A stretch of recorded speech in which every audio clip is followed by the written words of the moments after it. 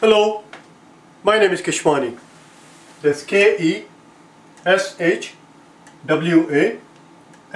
Keshwani. We are here because we want to prepare for GRE. We have been solving GRE math problems out of this book here, the official guide to the revised GRE, the second edition. If you do not own this book already, purchase one immediately. You're going to need it. The problem that we are about to solve is the one that you will find on page number 243. Please turn to it. Page number 243 and today is our lesson number 344. This problem that you see there on page number 243 is the exact same problem that appeared in the first edition of the revised GRE. We have already solved every single problem from this book. If you're interested in watching the original solution, you will find the original solution on day number 134. Just take a look at it. This problem has two parts to it. We have to deal with a piecewise function and we have to deal with the parabola. We'll deal with the piecewise function first. Now if you have not watched these two videos, 341 and 343, it is important that you, that you do so. Stop this video right now, watch 341 and 343 first because a lot of the concept that we learned, actually let me let me retract that statement. Let me let me start again. Not of the concept but all the concept that we learned in 341 and 343 that dealt with parabola will apply also in the case of piecewise function. Everything that we learned on day 43 yesterday regarding the shift of parabola whether we pick shift the parabola to the left or to the right or up or down all of these things that we learned yesterday will apply here when we're dealing with a piecewise function now this piecewise function that is given to us here, there are two modifications we have to make to it. First of all, let's start with the let's, let's start with the very simplest one, which is y is equal to absolute value of x. Uh, we already know what it looks like. We have done it many times. Here is y is equal to absolute value of x. When x is 0, y is 0.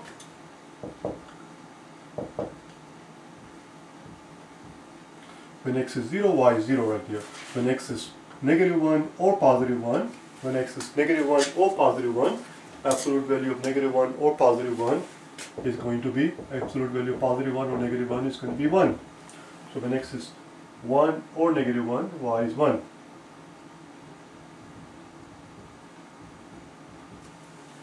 When x is negative 2 or positive 2, when x is negative 2 or positive 2, y is 2. There is nothing new about it. We have done this before with when x is positive 2 or negative 2, y is 2 because the absolute value of positive 2 or negative 2 is 2. So here we go. When x is positive 2, y is 2 and when x is negative 2, y is 2. And here is our graph.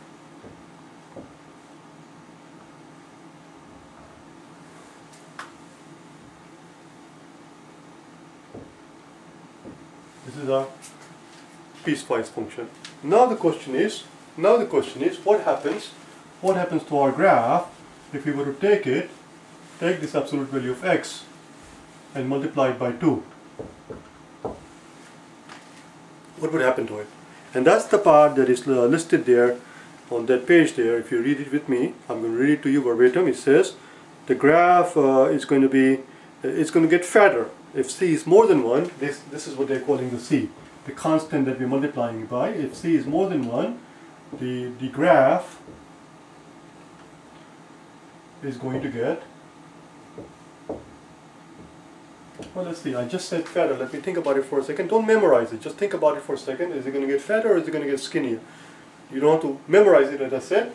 It's going to be 2 times the absolute value of x the values of y are going to be twice. The values, the values of y are going to be two times as much for each given value of x. So when before when x was 1, y was 1. Now when x is 1, y is going to be 2. It's going to go higher. It's going to not, it's not going to get fatter. It's going to get skinnier.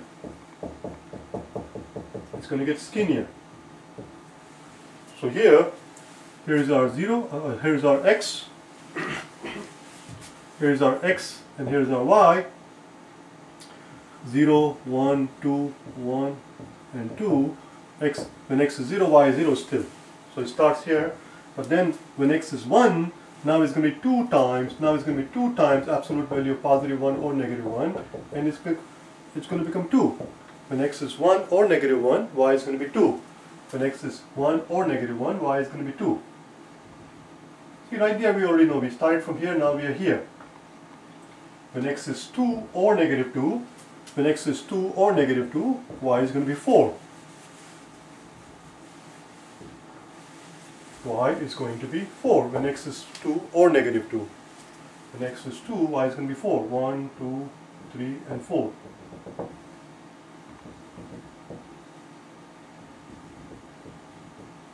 There you go, this is our new graph.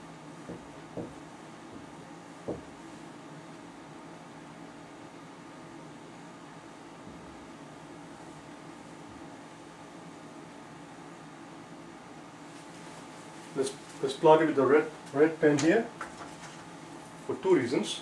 One is so that it becomes easier to look at and second is so that we can hide some of the imperfection the way I drew it.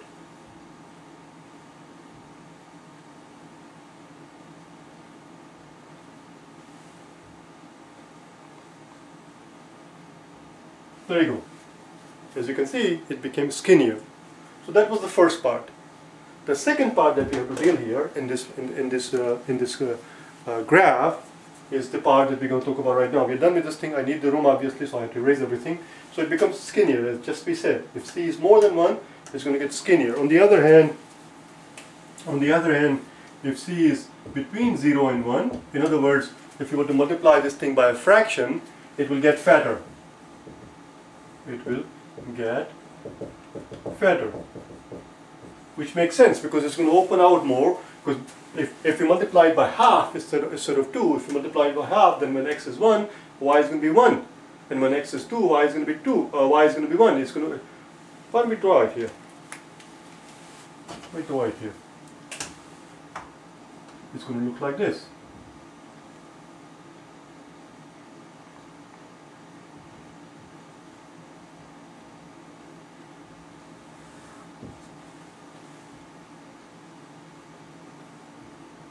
There we go.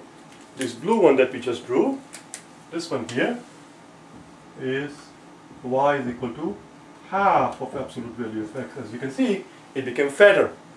The original one here is right here. This one is y is equal to absolute value of x, and this red one is y is equal to 2 times absolute value of x. So if c is between 0 and 1, it gets fatter. Now what happens if we, if we stick a negative sign in front of it, if you multiply by a negative number. Now all that happens is that if you multiply by a negative number, then instead of x being, when x is 1, y is 1 in this case, in this case, but if we stick a negative sign in front of it, it becomes negative 1, which means we have to flip it. Negative simply means we just flip the graph. We just have to flip it. Why don't we plot it here? Here is our original 1, 1, 1, right here and 2 2 where is 2 and 2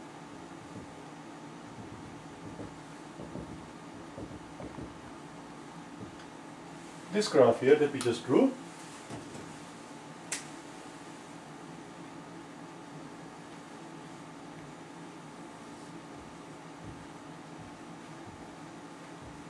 as you can see here when x is 0, y is 0. They all start out the origin. When x is 1, y is negative 1. When x is 2, y is negative 2. And the reason is because this graph is equal to y is equal to negative of absolute value of x. Here we are multiplying it by negative 1. We are multiplying it by negative 1. It's negative 1 times absolute value of x. So if you multiply it by a negative number, all those things that we just saw here, they all stay the same, except we just have to flip it. It becomes upside down, which is exactly what you're looking at the parabola. If you look at the parabola there, don't worry about the fact that it's very fat. We'll, we'll, we'll deal with it when we get to it. But if you if you look at it, it's, it's a negative. y is equal to, if you look at the equation of the parabola, it says y is equal to x negative x squared over 4. It is the negative part that flips the parabola upside down, just like this one here. As I said before, all the rules that apply to parabola will apply here. They're, they're one and the same. Do you understand? So that was it. Now we have to talk about the shift because it's shifted to one unit to the right. Let's talk about the shift right now. We're done with this part. So what happens instead of, instead of y is equal to absolute value of x, what happens if y is equal to absolute value of x minus 1? Now I'm not going to go through this part again. We just did it yesterday. We spent a great deal of time about the shifts in the parabola. The shifts in the parabola are the exact same thing is going to apply here. The negative one tells us that we have to we have to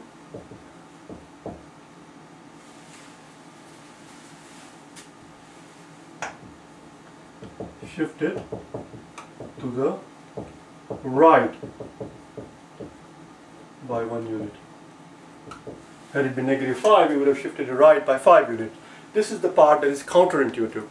Your intuition might tell you, your gut feeling might tell you that if, you if it's x minus 1, shouldn't you pick it up and shift it to the left one unit along the x-axis? The answer is no. You shift it to the right by one unit. And, and the reason is because by doing x minus 1, by subtract, what we are basically essentially doing is that we are taking we're taking each x coordinate, we're taking x coordinate of each single point and subtracting 1 from it. Which means it's the same graph, it's the same relationship, it's the same picture, same shape, all the drama, all the play is the same except it's taking place one minute later. If it's taking place one minute later, then oh, if y was 1 when x was 1, now y is going to be 1 when x is 2. Before, when y was 0, when x was 0, now y is going to be 0 when x is 1. It's going to, everything is going to take place one unit later.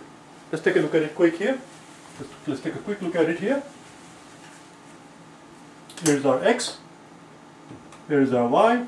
Negative 2, negative 1, 0, 1, and 2. Now before, before when x was 0, y would have been 0. But now, when x is 0, we find that y is equal to 0 minus 1 which is absolute value of negative 1 and y is 1. y is 1. When x is 0, y is 1. When x is 0, y is not 0, it's 1. It takes place 1, y, everything that, that, that took place before, everything is going to take place one unit later. Let's plot it here.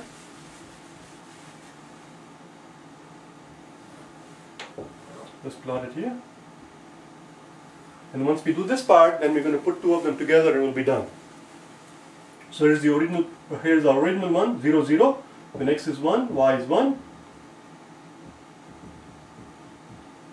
And when x is negative 2, y is 2. And when x is positive 2, y is 2. This is our original one.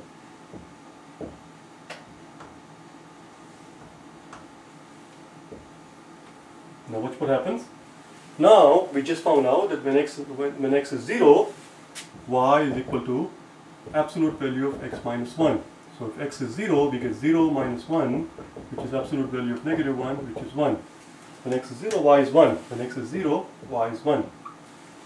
When x is negative 1, what happens? Let's put in here. When x is negative 1, we put in negative 1 here, we get absolute value of negative 2, and we find out that y is 2. When x is negative 1, y is 2. Here is our second one. When x is negative 1, y is 2. When x is negative 2, when x is negative 2, negative 2 and a negative 1 is going to give us negative 3, y is 3. When x is negative 2, y is 3. When x is 1, when x is 1, 1 minus 1 is going to be negative 2. Oh, sorry.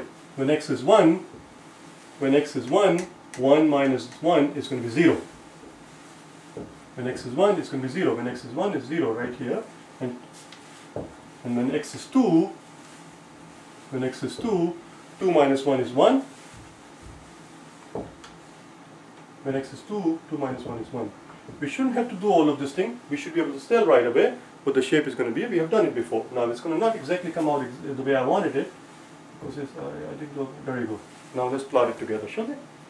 And you will see the same graph has been shifted to the right by one unit. It's been shifted to the right by one unit. It's the same exact graph.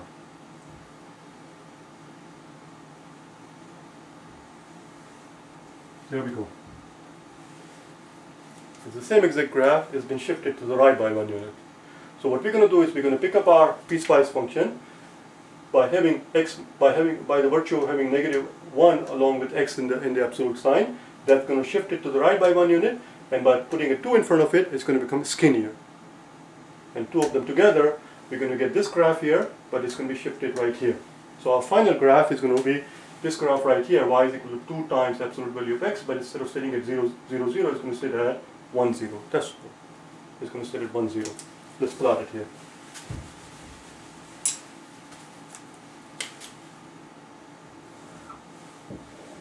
So here's a 0, 0, 1, 2, 1, 2. So when x is 1, y is going to be 0, and when x is 0, y is going to be 1. And so that's the shift. And instead of before, before the relationship was 1, 1. So when x is 0, y should, y should have been 1. But now it's going to be skinnier. It's going to be 2. It's going to go through this point. And before when x was, x was 2, right here in this one, when x was 2, y is 1. Now x is 2, y is going to be, instead of 1, it's going to be 2.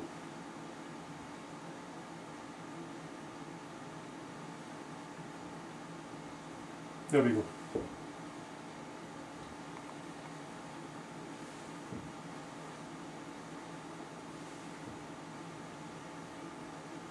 This, this piecewise function is exactly what we find in the book there. This piecewise function incorporate, incorporates both of those things. It incorporates the fact that it's skinnier. Let's erase this part so we don't get confused now it's, it's skinnier. So this one has y is equal to 2 times absolute value of not x, but x minus 1. x minus 1, one more time. That minus 1 part tells us that it's been shifted to the right by one unit. And this 2 part tells us that it's skinnier. It's this one right here, the red one. It's skinnier and shifted to the right. So one more time, this negative 1, this negative 1 tells us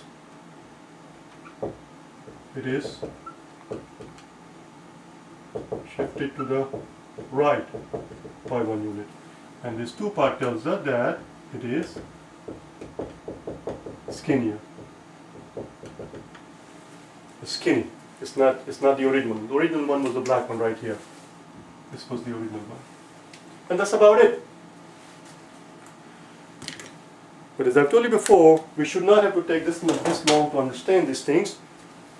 I want you to familiarize yourself with these concepts so that you can tell just by looking at it in a matter of seconds, a matter of 3 seconds, 5 seconds, 10 or 20 seconds if you're slow, we should be able to tell immediately by looking at it what the shape of the graph is going to look like. Just by looking at it, we should be able to tell it's negative 1, which means you're going to shift it to the right one unit, and it's being multiplied by 2, which means it's going to get skinnier. See? Here, here's, here's our original one, here's the original one, y is equal to absolute value of x. When we multiply it by 2, the values of the y for each given value of x is twice as much, so it becomes skinnier. Right here, it becomes skinnier. If you multiply it by less than 1, like half, it becomes fatter. Less than 1, but as long as it's, it's positive. Now if it happens to be negative, you just flip it. That's all. Tomorrow, we'll deal with the same kind of concept, dealing with the parabola, so that we can do the bottom half. Okay? Bye now.